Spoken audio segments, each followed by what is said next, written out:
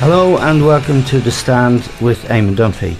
Now, on his recent visit to Canada, uh, Leo Varadkar, our new Taoiseach, said that the uh, next Dáil session and the new year will be uh, dominated to some extent by the campaign to repeal the Eighth Amendment. Uh, this will be a referendum, and it may well follow uh, with legislation. This is a most divisive and emotive issue, and I'm joined in studio by Maria Steen, who is a spokesperson for uh, the pro-life um, lobby and a spokesperson for the I- Iona Institute, which is, I think, Maria, is fair to say, a Catholic think tank.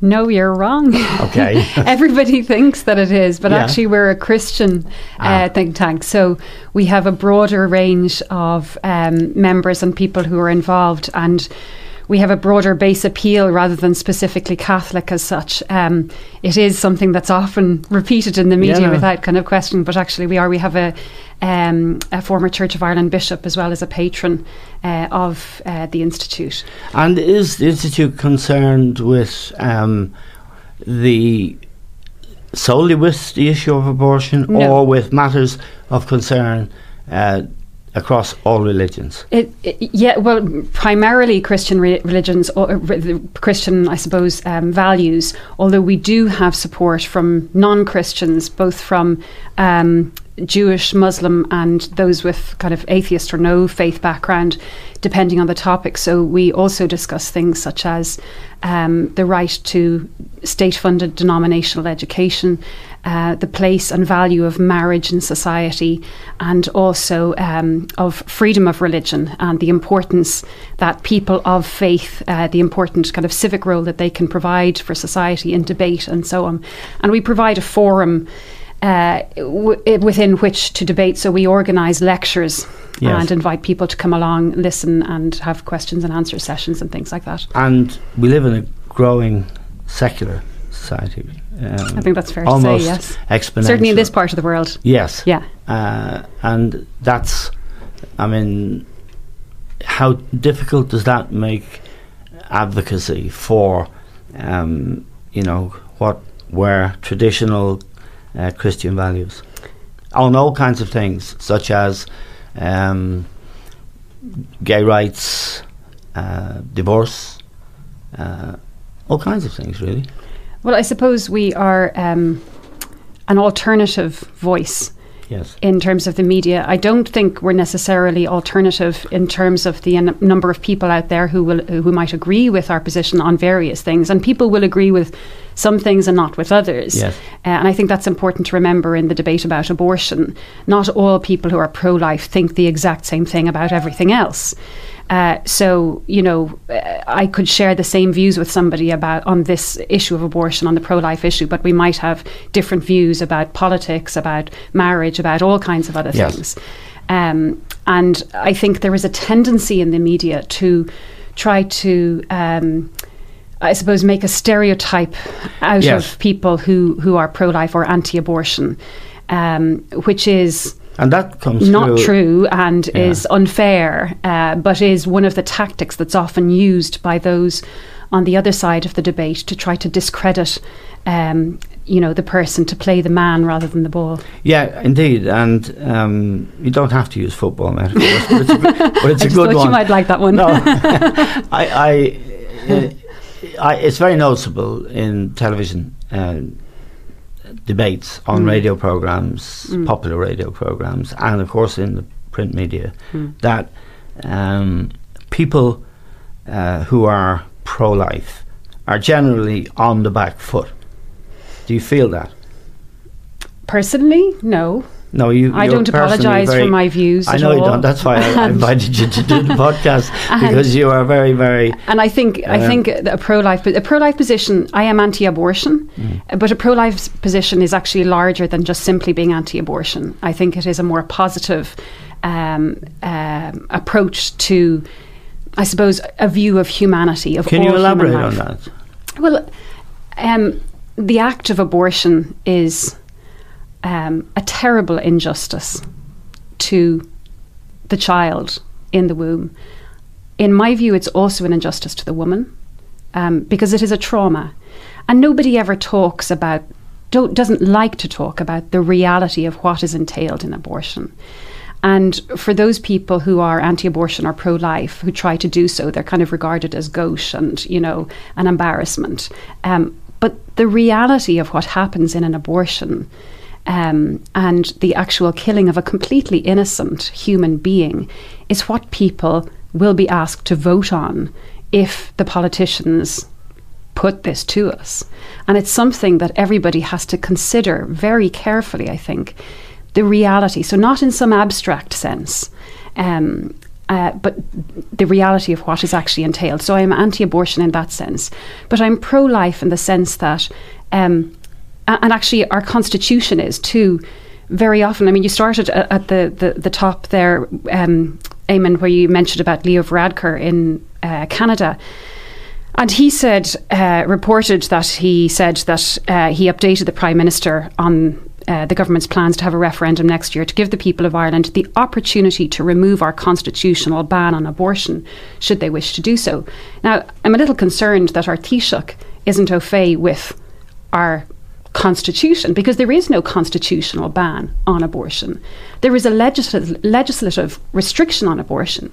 But actually, when you look at the Eighth Amendment or Article 43.3 of the Constitution, what it says is that it acknowledges uh, the state acknowledges the right to life of the child before birth just the same as the state acknowledges the right to life of the child after yeah, birth. I mean, there's a. I have it here in front of me. Yes. There is a caveat. The state acknowledges the right to life of the unborn, and with due regard to the equal right to life of the mother, guarantees in its laws to respect and, as far as practicable, uh, by its laws to defend and vindicate that right. And I think that's a really um, reasonable and really moderate approach to take. And it leaves it, but it, it is open to interpretation, is it not? Well, and it, it, it, creates difficulties. For well, example, well, I think when when it when it was when the people voted on it uh, back in the 1980s, everybody understood or thought they understood what they were voting for. The Supreme Court subsequently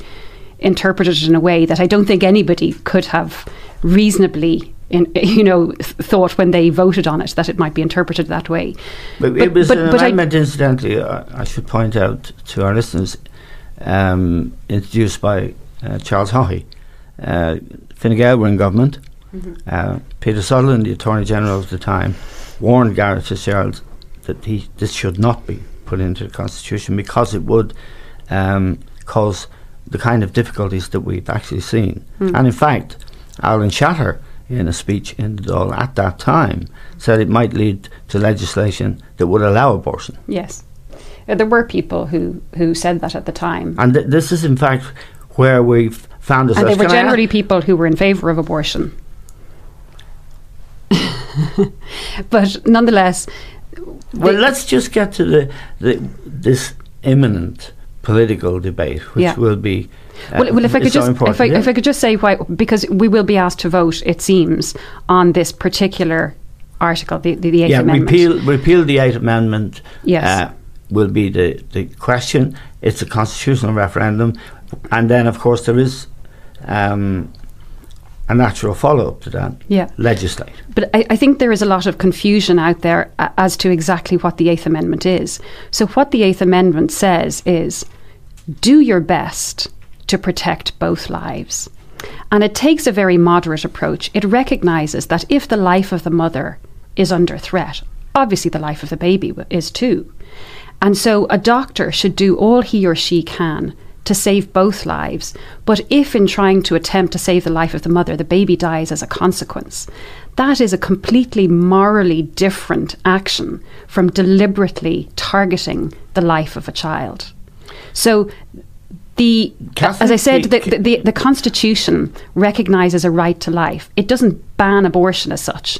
Now, it follows from the fact that the baby has a right to life that that child also has a right not to be killed. And so the legislation sits, I suppose, underneath the, the constitutional framework.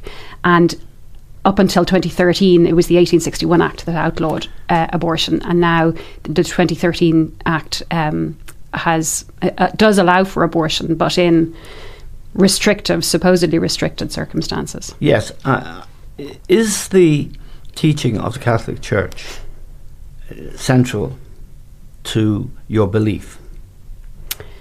Yes and no. So I'm a practicing Catholic. I've never hidden that fact. Um, and because of my Catholicism and my um, Christian beliefs, that um, we all have, I suppose, um, a common heritage. I think that that's that's where I see the equal value in everybody. That we're all created by God. We are not all created equal. We only have to look around us to know that some people are, you know, disabled. Some people do not have the same um, financial abilities. Some people don't have the same IQ, don't have the same other talents. We're not all equal in that sense. But one of the really important things in any civilized society is that the law treats us all as though we're equal. And so part of that in me comes from my Catholic belief, but it also comes from my belief as a citizen of this state that it is a fair and just approach to take. And I don't believe that you have to be a Catholic or a Christian or a person of any belief to come to that conclusion. I think a person of no faith can come to the conclusion that we should the law should treat us all equal because we only have to look around and see throughout history but also right around the world as we are speaking what terrible just injustices can result when some people are treated as less than others most people believe maria uh, that i know uh, that the law does not treat um, everybody in this country equal mm. and in fact to assert that it did would be regarded as perverse. But you see, if that's the case, we can recognise that that's wrong. We have recognised it, but nobody has campaigned to um, right the inherent injustice in our in our courts, uh, the way people are treated, um, regard it's not regardless of your class. Mm. It's not regardless of your means. Mm. It very much depends mm. uh, on your means what kind of justice you can buy. Well, I, I think that's, I, I think that's that wrong. I mean, I, I think you that's don't wrong. think that's the case? I, think I think it's wrong that that people would not be treated equally in that sense, and that uh, you know, some because of the, the family that you're born into, you would suffer a prejudice because you're you don't have the financial means. I think that's wrong, and I think it's something that people should be aware of in the context of this debate as well, yes. because abortion targets the children from poor families disproportionately. There is a strong eugenics culture underlying the whole industry of abortion. If you look in the states there is a disproportionate number of abortion clinics in um, ethnic minority neighborhoods. So, for instance, the biggest killer of black lives in America is not HIV, not diabetes, not cancer, not heart disease, it's abortion. Abortion, the number of deaths of black people through abortion outnumbers all other deaths in black people combined. I mean, isn't that a frightening statistic? There's another frightening uh, prospect. I was speaking to somebody and I told them I was going to interview this morning. Um, and they said that in Denmark, where abortion is yeah. um, practiced widely, that they boast that uh, in the next 20 years they'll have no Down syndrome children. That's right. And like at the first uh, reading, uh, which is rather frightening. Well, at the first reading of it, it sounds like, gosh, they found a cure for this. But no, mm. it's that they're just killing everybody with the condition. Mm. And I don't know if you saw the Sally Phillips documentary. No. It was a really beautiful documentary by uh, the actress Sally Phillips, who has a son um, with Down syndrome. And she was really disturbed um, when she looked into it uh, about the fact that in the UK, where she lives, over 90% of children with Down syndrome are aborted. In Iceland, the rate is 100%. Yes. 100%. Now, how can people who concern. call themselves human rights advocates kind of ignore this? How, wh- wh- what is it about their? They have, seem to have a blind spot when it comes to this. That people with disabilities are regarded as so awful that we have to abort them before they're born. To go back to um, the Eighth Amendment, uh, the Citizens Convention, Mm. um, which I think is an entirely unsatisfactory way of making law or deciding anything. Mm. You pick 100 people from the phone book, you put them in a room with people with some expertise, and in the case of abortion, uh, which they just considered uh, in the past 12 months, um, they came out with a finding that was extremely liberal, ultra liberal, I would have thought, by a majority of something like 75 25. Mm. Um, and what do you make of that, Maria? Um, I think that for all the terrible waste of taxpayers' money that was involved in conducting that citizens' assembly, um, I think that the citizens' assembly is to be congratulated for one thing, and that is that they have finally revealed, you know, the true parameters of this debate in all its gory detail. Um, basically, the mask has slipped and so, what we see is that there are people in this country who are willing to write off every right a child has before birth. Despite the fact as far as I can see, there's no difference in the moral status of that child before or after birth. It's just a matter of geography whether he or she is inside the mother's womb or not. Now, another statistic that seems to me to be very relevant is that 25% of women in this country are estimated to have had what are called unwanted pregnancies. Mm. Uh, and uh, many of them will have had uh, abortion. Mm. Uh, they will have travelled Mhm. to England uh, Mm. to have the abortion, but it's a very large figure, a, a very large percentage. Um, where are these people on the moral spectrum, if you like?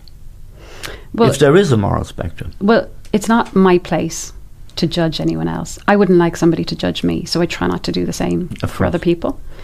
Um, uh, that's not my place.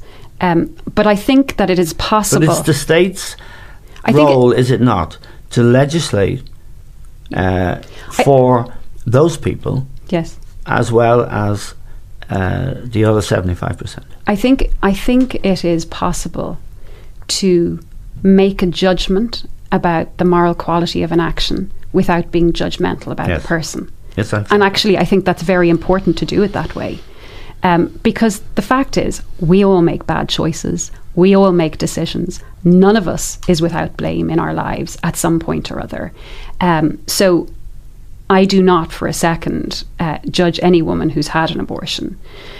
But having said that, I think it's important to say that the action of killing a child deliberately is wrong. Now, very often, and I know this from um, the testimonies I've heard, uh, from testimonies I've read from women on the internet, and people that I have spoken to who've had abortions, that very often they actually didn't really know what they were letting themselves in for that there was a cover up in terms of what kind of information they were given.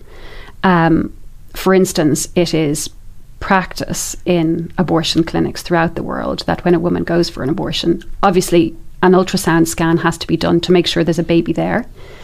Um, but the screen is turned away from the woman because they rightly think that if she sees the screen, she might just change her mind. And that's actually, you know, that that sense really struck me. I mean, I've always been pro life, but it wasn't until I was expecting my first child and I thought I was going to lose him. And I had to go into the hospital uh, when he was about 11 weeks, so about nine weeks after conception. And um, they did a scan, and I could see him on the screen, and I could see his little arms and legs kicking about and waving about. And I fell in love with him. And it was then that the injustice of abortion really struck me, how the reality of it really struck me. And I thought, you know, that's why they don't let women who are contemplating abortion see their babies because they might fall in love with them too. The- and the thing about it is, you mentioned unwanted pregnancies. I have friends who had children in less than ideal circumstances, but not one of them regrets having their baby. You know, and that's the thing that, that is often that I worry about for young girls and women who might be listening to these debates in the media. Um, pregnancy and motherhood and having a child is kind of couched in such negative terms. But actually, those of us who are parents know the joys and the fulfillment it brings. It doesn't mean it's easy all the time, but like, my God, it's it's the most fulfilling thing I've ever done in my life, and um, it has changed my life. But in my view, for the better. The thing about it is, abortion doesn't undo a pregnancy. And I can understand, you know, a young girl or woman feeling like, I just want to turn back time, panicked, you know, that she's pregnant and not knowing what the future holds. I can completely understand that. But abortion is not going to undo that pregnancy. And once that child is in being, the world is never the same again because a new human being is in the world. But that doesn't have to be a frightening thing or a negative thing. And I wish that people could be more positive and encourage girls and women who find themselves in difficult situations to say, you know what? Your sadness and anxiety is not going to last forever. There will come a day where you feel pride and joy in your baby and in yourself for what you've done in giving life to your baby and bringing him or her into the world. That's a big ask, um, Maria, for somebody who is in circumstances where they simply cannot manage. I, I I'm not. I understand that, Eamonn, there are overwhelming situations. I, I There are, and man- they are, and they are rare. It has to be Yeah. said because most women, when they see their babies for the first time, when their babies are born, most women want to raise the child themselves. Now, there are circumstances where, for whatever reason, and again, I'm not going to judge anybody on the decisions they make in terms of why they could feel they can't raise a child, but there is the option of adoption. And that is never talked about in this debate. And there are so many couples in this country who are infertile and crying out for it, would do anything to be able to adopt a child. They have to go to the ends of the earth to try to find a child and wait for years. And yet we are shipping off three over 3,000 women every year. That means over 3,000 Irish babies are dying every year that could be placed in loving homes. Uh, the Catholic teaching on um, this at one point um, insisted that if the choice had to be made to save the life of the child or the mother, it would have to cha- change, it, it, save the life of the child. Now, I've heard that before, Eamonn, but can you point to me where the Catholic Church ever said that? No. Because I have never, ever found that in any church document, ever. we will uh, pass on that. But I, I mean, it was, I think, uh, I- I- a fact it of was- Irish life. It was an old wives' tale, and maybe people did say that, but I have never seen any evidence in any church document that that was the case. Well, let's. I, I'll accept that. Um, let's um, go to the X case, which was, you know, uh, a fundamental moment in this whole um, debate. Here was a 14 year old girl who had been a victim of rape.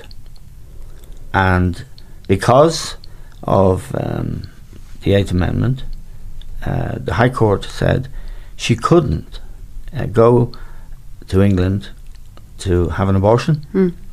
The Supreme Court overturned that and ruled that she could. Mm. Um, the um, question that arises is how could a child be expected to carry a baby Mm. as a result of rape Mm. uh, in any sensible, decent society? Mm. And But- it's a it's a question that uh, I think it's incumbent on people of your persuasion to address. I'm really happy to address it, and I have thought long and hard about this. Um, first of all, I mean, I suppose th- the fundamental question is: Do you believe that what is growing inside that girl's womb is a human being? Do I? Yeah. Of course. Okay. I, I think there is a, there is a question So, that arises about uh, in this area Mm. of when uh, it becomes a human being. Okay. Well, if, I- you, if, I- you, if you just for- for, if you just for, for one minute, In the moment after conception, yeah. um, or in the weeks after But when, but when we're talking Sorry, about I- I- we're talking about abortion, Yes. we're not talking about the moments after conception. Mm. because we have we're talking about the point girl the girl like there is no test that a woman can take immediately after conception that will tell her that she's pregnant. Yes. She it's only in, within a matter of weeks where the hormones have risen Yes. that she will be able to identify that she's pregnant at which point the baby is well on its way developing.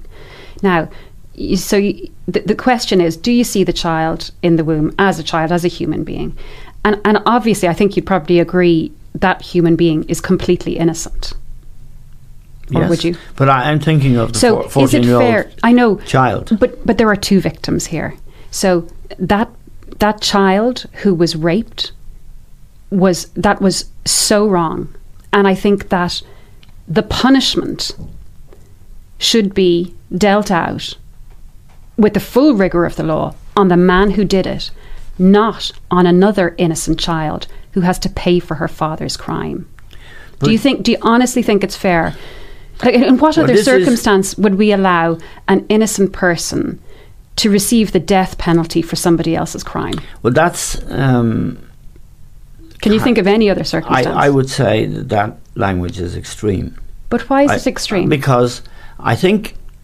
the phrase death penalty Okay, does has the a child- certain. Well, no, just let Does me the child die.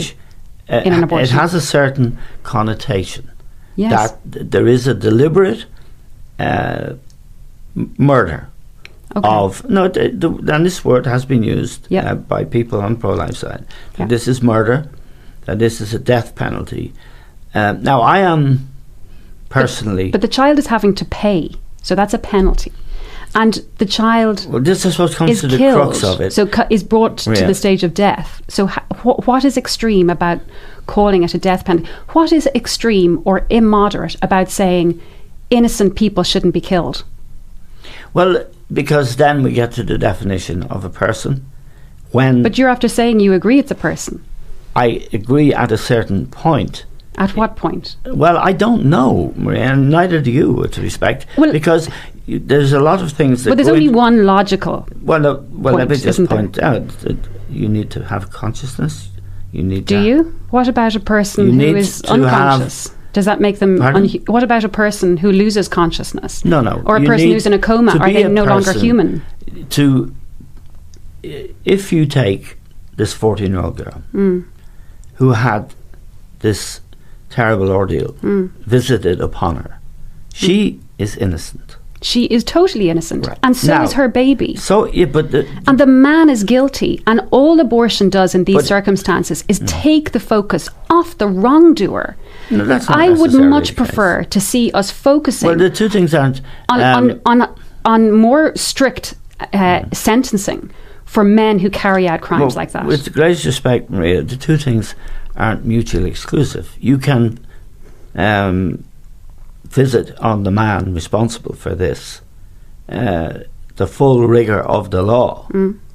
but you still have you still left with a fourteen-year-old, fifteen-year-old child yes. carrying the baby Well- well, of, I've- a, of a man I've who considered. violated Okay, her well, can I in the most well let, let me just Yeah. f- frame the question Okay. violated her in the most appalling way and it seems to me uh, and my position is not unsympathetic Mm. to your arguments Mm. it seems to me that that uh, must be revol- resolved in favour of that 14 15 year old girl Mm. and she should not be asked uh, to compound the rape, the violation, with the trauma of bearing a child.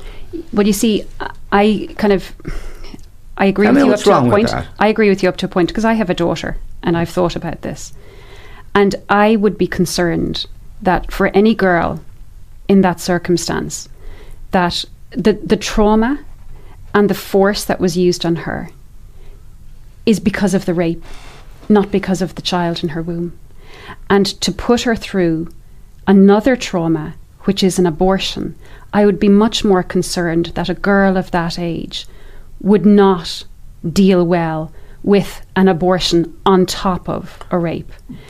And But- that but if she she, had the proper supports sorry. of her parents and all those around her to help her through the pregnancy and to have the baby, and if she wishes to keep the baby and raise the baby with the help of whoever is around her, um, or to give the child up for adoption, that that that that is something good and something beautiful that can be brought out of a horrible and fundamentally immoral situation that has been visited upon her. Okay, well, let's look at so, this so, the- from her so I know somebody. I know somebody who was raped in very difficult circumstances, where basically by a complete stranger, ambushed by a stranger, and she became pregnant, and she made the decision to have her baby, uh, and that wasn't easy because of she was a student at the time and in a relationship and all kinds of other things,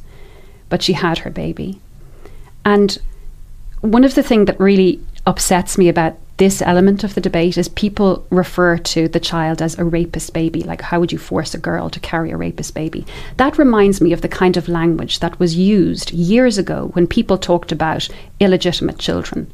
And they put the actions of their parents, the child had to carry that around for the rest of their lives, Well, which was so wrong. I didn't use that language. No, no, no. I'm not saying you did, but but in the past that was what was. So, but it's a similar kind of thing. The, the child in the womb is not a rapist baby. The child is I just as much. No, I know. I'm saying other people have Yeah. in the in the context of this debate. The child is very much the mother's baby too. But more importantly than that, the child is a person in his or her own right. That child can't be blamed for the circumstances of his or her conception any more than the mother can be blamed for the rape that has been visited on her. Okay, let's So we're dealing with two completely innocent people. Well, let's go to the question of free will. It was the girl who, and her family, Hmm. who sought relief Mm-hmm. from our legal system, and eventually in the Supreme Court, court they got the relief that they were seeking, Yes. which was the, a relief from this dreadful trauma. I mean, let's. But was it? Well, Did it undo the rape? I don't think so. well, hold on. Let's just it wasn't a relief from the trauma. Suppose the I- I High think Court that's unfair ruling to say. had been, well, suppose the High Court ruling had been upheld in Supreme Court. She would have had a baby at the age of 15. And, and lots of women in this country have no, had. but can you imagine? and love their babies and are really proud of them. Her education, her neighbourhood, her friends. Uh, would she be capable at the age of 15 of being a mother? Because you have to nurture, there are things you have to do. I mean, to Motherhood, me, there's no doubt about it. well, I- Motherhood makes you grow up. well, I mean, I think that's a bit rich for a 15 year old to be asked. No, uh, well, it, it, it is it is not ideal. I will, but but there again, it very much depends on the girl in question, on the supports she has, on the family, and all of that. But ultimately, what it comes down to, and this is the fundamental question: Are we willing to be a society that says to a girl like that, you know? Your baby is dispensable. We'll sort this out, and then you'll be cured of whatever you know trauma you've gone through that's still ignore it's, it's not like abortion is a cure for rape. It's not. And in, in many circumstances it compounds the suffering that the girl has already gone through. Um, and so are we willing to be a society that says i'm going to stand by you.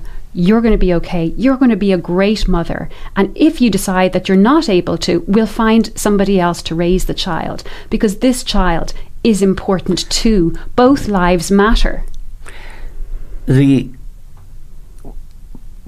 picture you're painting now is of an innocent child Mm.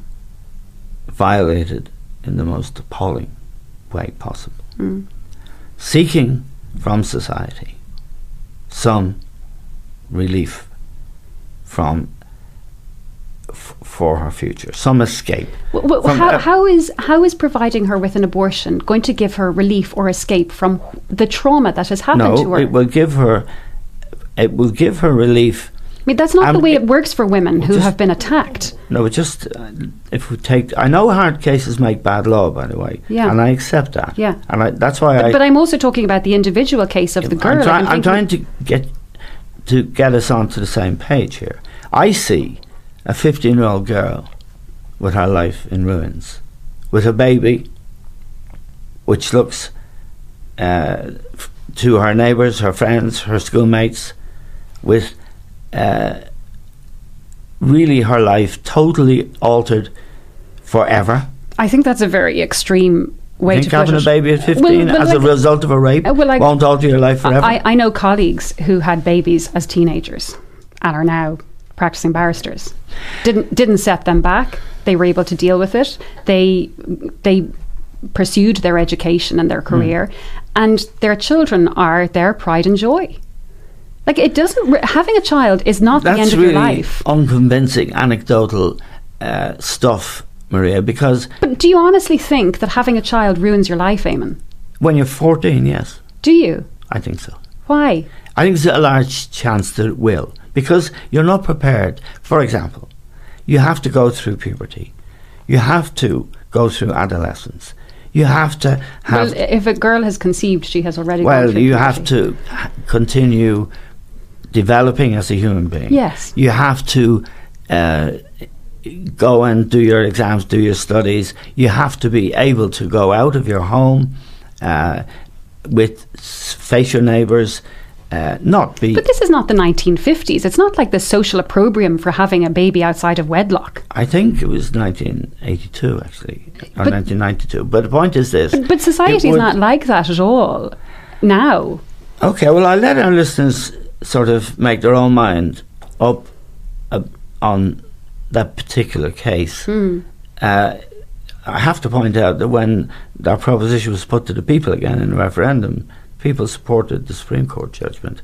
Well, not, not by many, I have to say. No, They did, yes. No. Anytime, yeah. anytime the question has been put to the people to change the law on the Eighth Amendment, they have rejected it.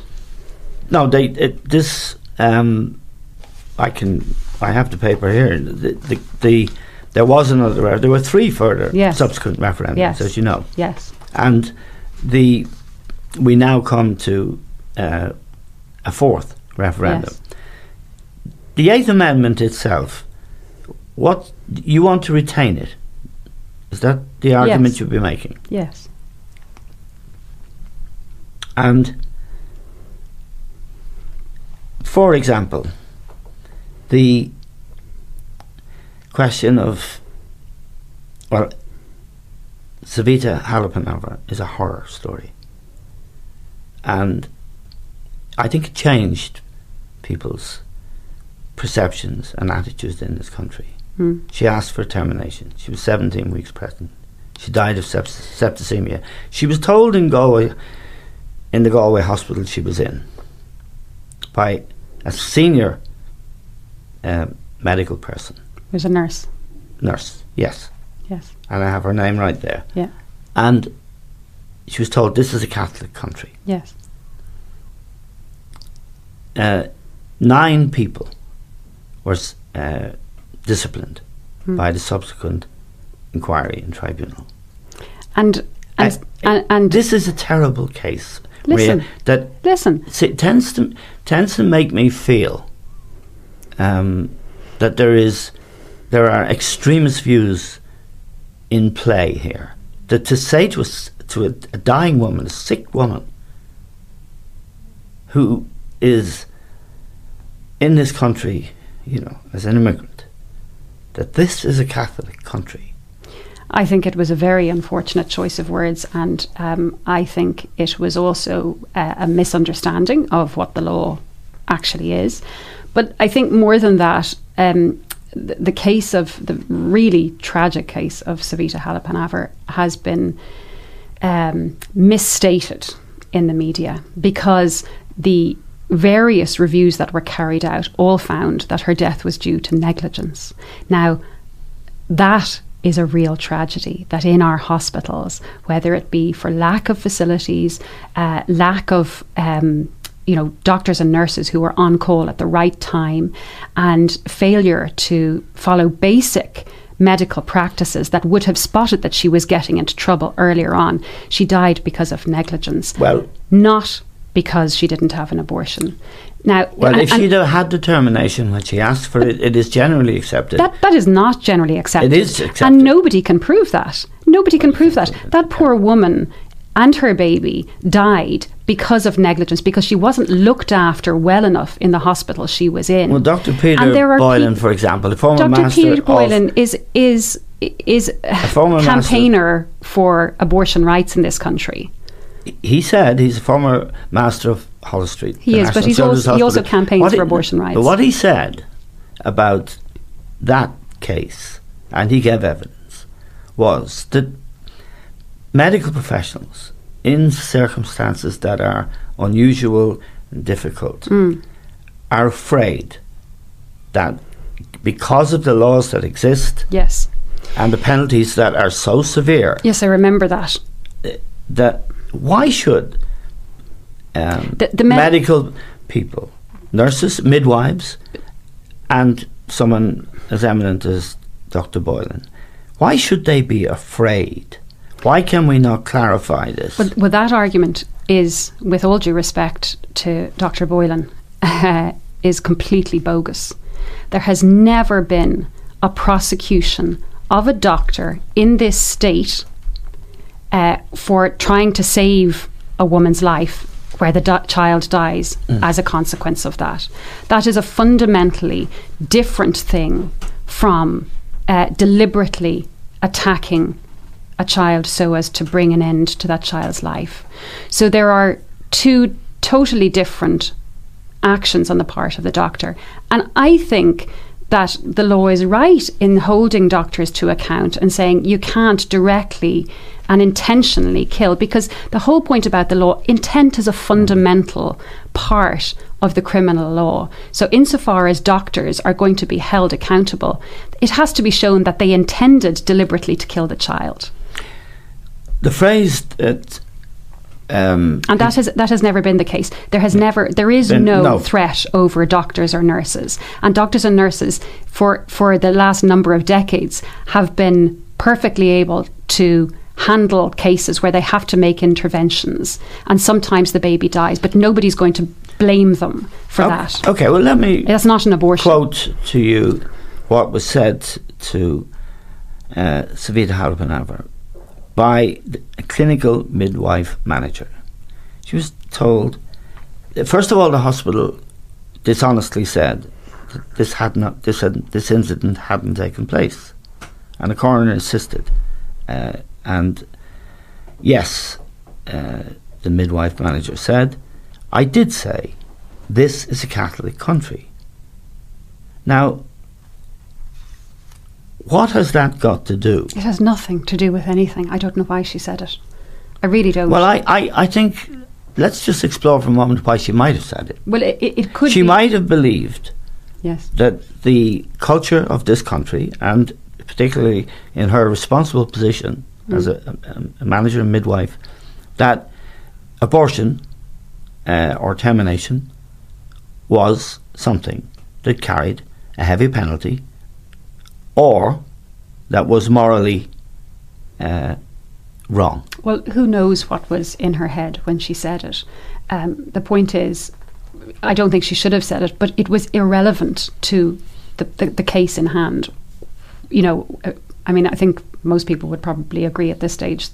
It's been a long time since Ireland was a Catholic country, but whether uh, whether it is or not, the fact is the law of the state applies to what interventions can be done, and if there was a real and substantial risk to the life of Savita Halappanavar, the doctors should have intervened to save her life and the life of her baby.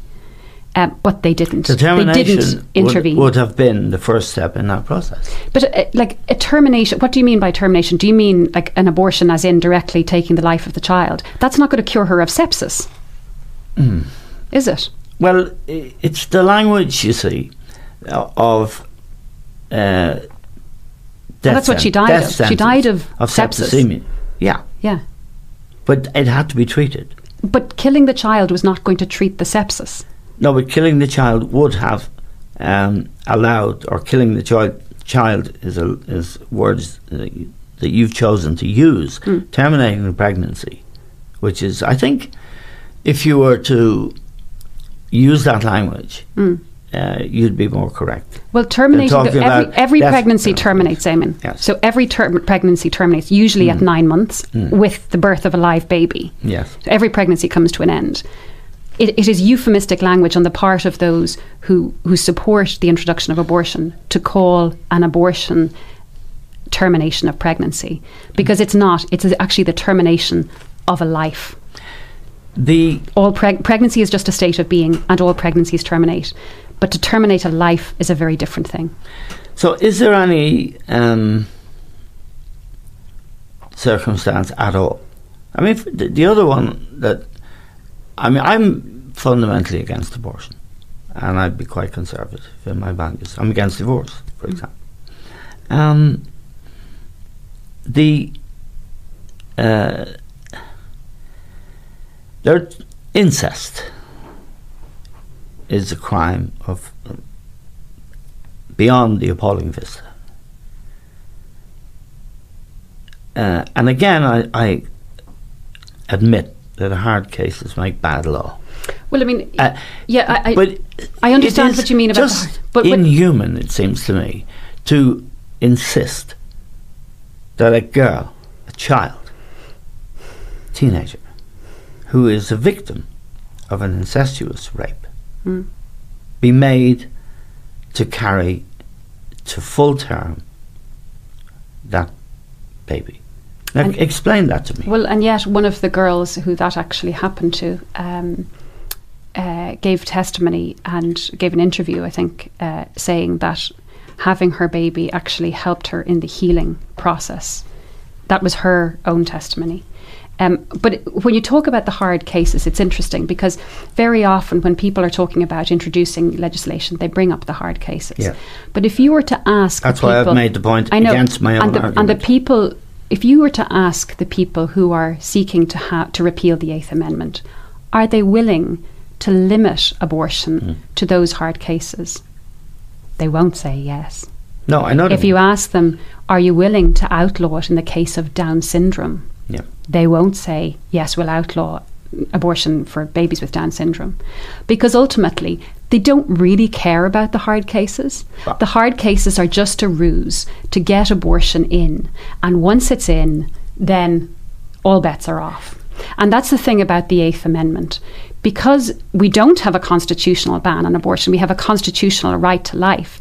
If that is repealed, even if the government says we'll only legislate for very restrictive circumstances, once the constitutional Yes. protection is gone, Yes. they're free to legislate five years down the line, one year, down, six months down the line, they Yes. can bring in totally wide range abortion. So if you're concerned that Ireland may go down the route of the UK, where, for instance, did you know, like, how many abortions would you say happen in the UK? Would you say it's one in 30, one in 20, one in 10, one in 5? I don't know the answer, but It's one in 5, Eamonn. yes. One Yes. in five of all babies in the UK are aborted. In Sweden, it's one in four. Yes. Now, do you want? I don't want that. so, if you don't want that, In Italy, there's a massive whoever problem. doesn't want that has to vote against whatever government proposal is being brought in, because whatever it is, whether they'll dress it up saying, "Well, it's not repeal, it's replace," or it's amend. That's kind of irrelevant because whether it's appeal, uh, you know, amend, um, remove, it all involves repealing the, the law that's there at the moment. So, um, but and as I said, once that constitutional protection is gone, there is nothing to stop a government in future, the Oireachtas, from legislating uh, for um, wide-ranging abortion. So um, there is no um, wriggle room. Yours what do you a- mean by wriggle room? Well, uh, what I mean is, in some some cases, yeah, somebody like me, yeah, uh, who is, as I said before, conservative, uh, culturally and socially, um, would find prospect of a victim of rape Mm. or incest carrying a child, being made to carry a child, Mm. uh, when they may, and I say may, as in the X case, be suicidal. That fourteen-year-old girl testified that she was suicidal. Now I know that's, you know. Um, but but uh, see, the- I, f- I, I even the National Women's Council of Ireland don't want to bring in abortion in circumstances of rape because they know it's unworkable. Like, what are you going to do? Get the woman to have to prove that she was raped, raped and wait for a court trial? The baby will be long born. So they don't want that. They actually don't want abortion to be brought in on the circum- under the circumstances of rape. Um, but but ultimately, what you're talking about again, to get back to it, is Is a you know, it's- humane it's- I- answer. I understand. I understand that the, the sense that some people have. Well, like we have to give a little, or there has to be some compromise. But compromising on abortion is not like compromising on anything else, because what it means is that necessarily some children will lose their lives. Is that a ch- compromise that you're willing to make to have on your conscience when you go into the voting booth? is That that is what a compromise means. Yes, I understand. And that and that we basically we create a kind of subclass of human beings who do not deserve the same protection as all the rest of us have. So all the rest of us have our, our, our right to life is protected by the state, and the state will vindicate our rights from unjust attack.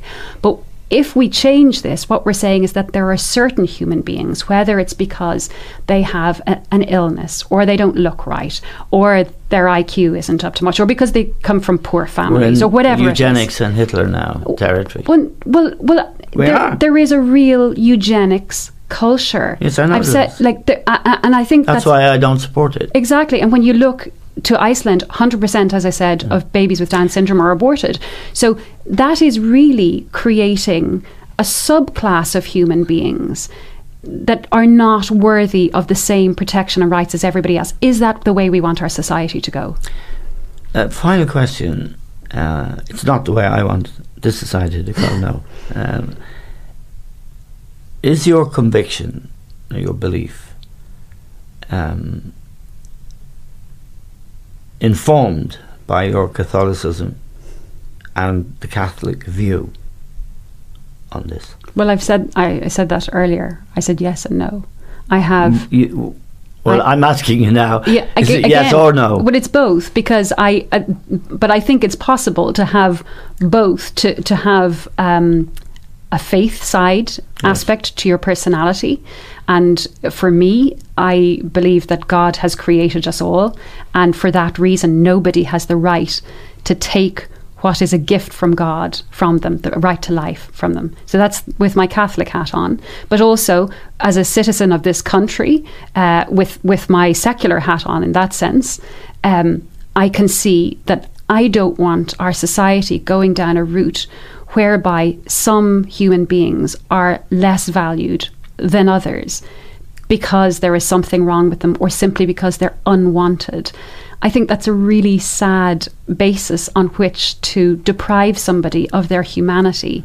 Like the idea that somebody is unwanted, like everybody's wanted by somebody, but more importantly than that, you know, are we really saying whether somebody is wanted or popular? You know, their their personhood is going to be deprived of them because of that. And I think I would be really sad if our society went down that route. I think we can offer much more positive and better options to women who are in difficult circumstances to encourage them. Sometimes all we need is a little bit of encouragement and support to get us through. And it has to be remembered as well. You know, pregnancy, and I've had four, and believe me, I, they haven't been easy for me, but you know, it is a temporary state of being compared to the terrible finality of ending an innocent child's life. So, for the time that a woman is pregnant, I think we should all be rushing to support her and make life easier for her, whether that's standing up on the bus to give somebody your seat, or looking after your sister who's pregnant, or you know going to the doctor with your uh, daughter or friend or whoever it is to support them right through. Um, and I think if everybody in our society did that, we'd be living in a much nicer place and a much happier place for pregnant women. People on the left would say it would be great uh, if it was like that after you were born. Yeah. And it isn't. Well, I do what I can in my small, own small way. No, but way. you, you concede that it isn't. Well, it, it depends. For I mean, some some people, some people it, it, it do suffer terribly, mm. but we can recognise that that is wrong, and we can try to do something about it. Like that's the difference. It's the recognition of injustice and trying to do something about it, as opposed to saying, you know what, we can see it's unjust to kill an innocent child, but we're not going to do anything about it. We're going to let it happen because, frankly, it's easier for us. Okay, Maria, um, it's been really interesting, uh, and thank you very much. Thank you. That's Maria Steen, who's a spokesperson for the Iona Institute. You will see a lot of her in the coming months. Uh, being berated by Vincent Browne and others, but not here. Thank you very much, Maria. Thank you.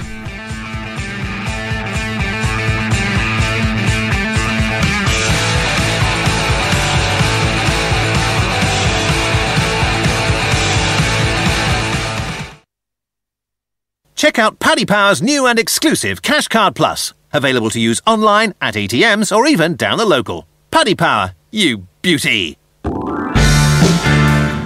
Hello and welcome to the Monday postcast with me, Maddie Playle. I've been joined by Nick Watts, Tom Segal, and Paul Binfield from Paddy Power. Well, what a weekend it was. Absolutely superb end to the jump racing season. A brilliant climax at Punchestown and Sandown. Um, but we've, of course, also had some really exciting and informative classic trials this week to get our teeth stuck into. Um, starting with you, Nick, did you have a good, profitable weekend? How was it? It was all right, actually. Yeah, not too bad. I, I did something I very rarely do, and I, I, I, backed Willie Mullins a few weeks ago to retain his title, and I, I thought it all slipped away at one stage oh, last week. Bravo. After Nichols Canyon got beat, but somehow he managed to wrestle it around, so it wasn't too bad. Yeah, extraordinary. Um, Tom, how was your weekend? Uh, it got better on Sunday. It was all right for most of it. I, sh- I, I, felt like I was in the zone for, for Punchestown, but I did a sort of as badly as I possibly. I won a few quid, but I could I did as badly as I possibly could, really, despite having a few winners. So it was a bit frustrating. I sort of I felt I was there, but nothing really happened. And like like Nick, one of the best results was Willie Mullins. I think I, I, I, I like him. I backed mm. him a few months ago, and it's nice to see him sneak up. He could have been so much better. I mean, if you think about Mullins this year, he didn't have Vautour or Faugheen or Annie Power, and quite a few of the Rich Ricci horses didn't perform, did they? So for him to come up, and, you know, late on and win, mm. amazing achievement. So we'll come back to the jumps, but let's start off with the 2,000 guineas. How do you bet, Paul? First off. Uh, well, we're 15 to 8 um, favourite Churchill, Maddie. Al Wukair at, at 7 to 2. Richard Hannon's Barney Roy at 4 to 1. Eminent, who your paper's bigging up today on the front page, 11 to 2. And then it's 14 to 1 bar. Okay, brilliant. Um, first off, do we think Churchill is beatable? And if so, who are we going to side with? Start with you, Nick.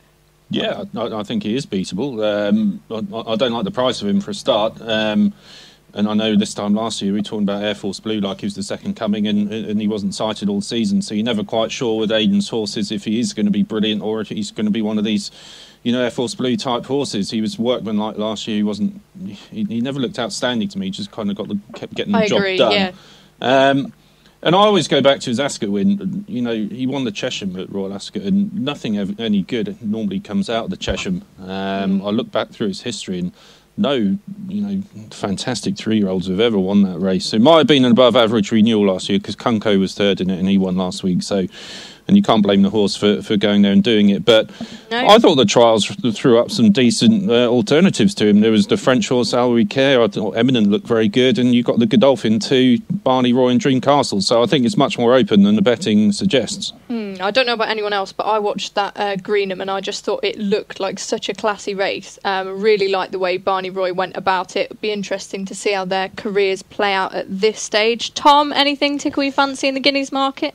Well, I'm well. I, I backed or tipped uh, for the paper a few months ago. Al Wukair at a massive price, so I'm looking forward to seeing him. I am worried about very fast ground for him. He's by Dream Ahead, and I'd be worried coming down the hill there if he got very quick. But I think oh, the the Fabre boys are, are very, very keen on him. He's got a great record at Newmarket as well, hasn't he? He has, and I was reading somewhere the other day Harry Herbert was saying that one of the, the main work riders for, for Andre Fabre, who's been there for years and years and years, thinks that Al Wukair is the best horse he's ever ridden. Wow. You think you know they, they really really love him, but I, you know it was something about him in the Djebel was slightly disconcerting for me. The way he got behind, uh, he's by Dream Ahead as I say. Whether he dropped really fast ground, I'm with you, Maddie. I thought Barney Roy moved like a, like a tremendous horse at, at Newbury in the Greenham. Really got low. Very few horses move like he does. He got really low and really stretched, and I thought he would be my one. As for Churchill, I just think he's a bad price. I don't think he's beaten a good horse yet. I can't believe uh, just just going by Aidan O'Brien's sort of modus operandi. He's, he's likely to want the horse to progress as the season goes mm. on. Now you can win a 2,000 guineas like that. He's done it many times, but the horses have got better as the after the 2,000 guineas. And the difference between this and maybe Camelots or Henry the Navigators or whatever it was. This is a really, really good race. Mm. Those three trial winners are really, really good. For me, if I was making a market for myself, he'd be the fourth in for me. He'd be the one I would yeah. fancy least of the four because I've seen them win their trials, and so yeah. for me, he's a bad price. But I, look, I I'm, agree. I'm not not saying he can't win because he's trained by Aidan O'Brien. He's won every race, and he's by Galileos. But seven to four is wrong. Yeah, I think a lot of the time, as you say, Aidan O'Brien likes his horses to sort of progress naturally throughout their seasons, and Churchill. For me, in a lot of cases, I mean, you saw it with Order of St George. Fair enough, he was giving the others weight the other day, but I feel like he doesn't have them as ready as sometimes he can um, first time out. So, like you, I think at the prices, having you know seen the trials and been quite impressed with the trials for both um, this and the and the fillies version. Um, I think it might be wise just to play alive to that a little bit. Um, talking of the fillies, we'll move on to the 1,000 guineas on Sunday. Um, and whether Aidan O'Brien can win his third guineas in six years with Rhododendron, who won the Fillies Mile last year really impressively.